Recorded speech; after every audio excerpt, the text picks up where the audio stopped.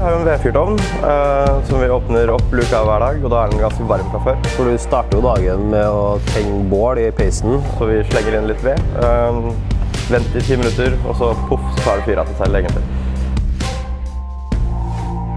Det er, vi ligger så mye høyere enn alle de andre. Så det er jo eksplosiv varme eh, når eh, deigen går inn i ovnen. Og det har noe med vannmolekylene i deigen. Vannet som er fanga i, i deigen, vil jo ut, og da skjer det ting veldig fort. Så det er de der små prikkene er rett og vannmolekylene som eksploderer.